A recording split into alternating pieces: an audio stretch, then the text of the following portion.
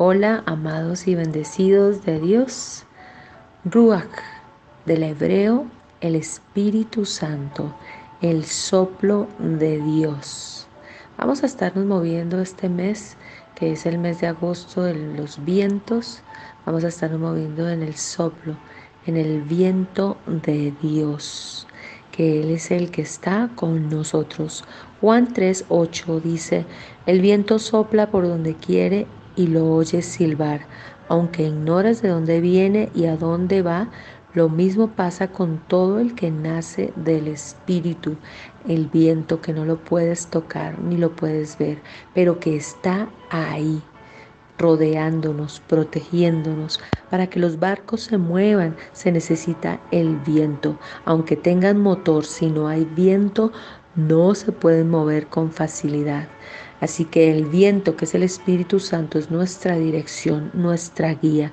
Por eso es necesario nacer del Espíritu Santo de Dios, envolvernos en Él. Jesucristo les dijo, reciban al Espíritu Santo. Y si Él lo dijo es porque es importante, es necesario que nuestro mejor aliado sea el Espíritu de Dios, que puede soplar el viento a tu favor donde quiera que te encuentres. Ahora necesitamos que el viento, el aliento, el soplo de Dios llegue a cada clínica, a cada lugar donde las personas están enfermas por este virus, donde necesitamos que el Espíritu de Dios sople con poder y sea trayendo vida. Así que yo te invito ahí donde quiera que estés, Oremos un momento y creamos que el Espíritu Santo de Dios es el que nos da la respiración y la vida.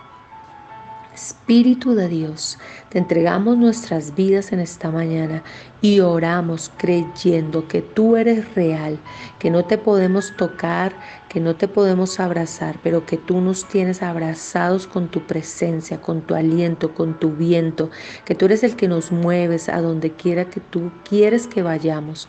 Nos movemos por ti, Espíritu Santo de Dios. Ponemos en tus manos cada vida, cada familia, donde quiera que se encuentren, especialmente aquellos que se encuentran enfermos por este virus. Espíritu Santo, te pedimos que soples tu aliento de vida y desaparezcas de los pulmones, de los bronquios, de las vías respiratorias, toda enfermedad, toda maldición, ahora mismo por la sangre de Cristo.